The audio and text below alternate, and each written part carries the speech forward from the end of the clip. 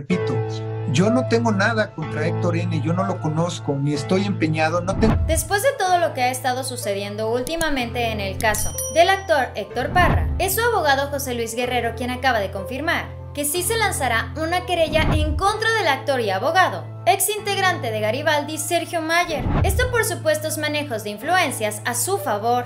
Un ministerio público con los judiciales, todos en contra, todos vamos a reunir. A través de una reciente entrevista, el abogado de Héctor Parra sí quiso asegurar que el político y empresario no tiene poder legal para andar tocando las puertas del Ministerio Público. Él afirmó que, en primer lugar, Sergio Mayer ni siquiera debió haberse metido a este caso, pues para esto existe la Comisión de Derechos Humanos. Actualmente Héctor Parra se encuentra dentro de las instalaciones de la policía, y esto no se debe, según lo que mencionó su abogado, a que Sergio Mayer haya mandado al MP o haya mandado ante los jueces. En este momento el abogado de Héctor Parra sí mencionó que el peso mediático fue lo que presionó en este caso.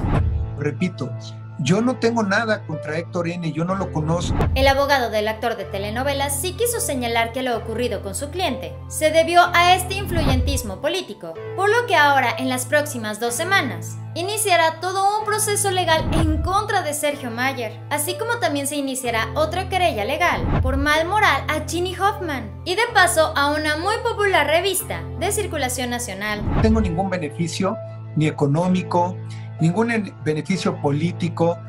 En esta entrevista, el abogado de Héctor Parra también mencionó con sus palabras, solicitaremos que se declare en contra al personal que le ocultó al juez elementos de prueba, pero queremos ir por más. También ejerceremos acciones en contra de aquellos que pudieron haber gestionado acciones que no les correspondía desde espacios distintos. Quiere decir que yo me puse de acuerdo con un juez, con un ministerio público, con los judiciales. Por su parte, como lo hemos visto a lo largo de este video, Sergio Mayer salió a justificar su postura aclarando que en este caso no tiene nada personal en contra de Héctor Parra, asegurando que él para nada obtendría ningún tipo de beneficio. La situación legal que está viviendo el histrión de 45 años de edad indica que el intérprete efectivamente sí vivirá un juicio tras ser señalado por su propia hija. Alexa Parra, de ahora 19 años de edad, señaló a su padre por supuestos tocamientos desde que ella Tenía 6 hasta los 14 años de edad. El pasado 15 de junio el actor fue llevado por la policía y trasladado a las instalaciones, al oriente de la capital.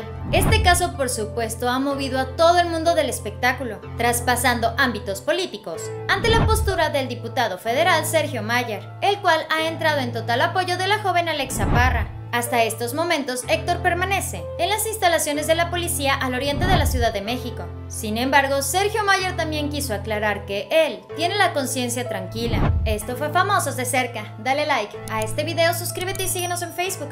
Espero que tengas un excelente día. Nos vemos muy pronto. Bye.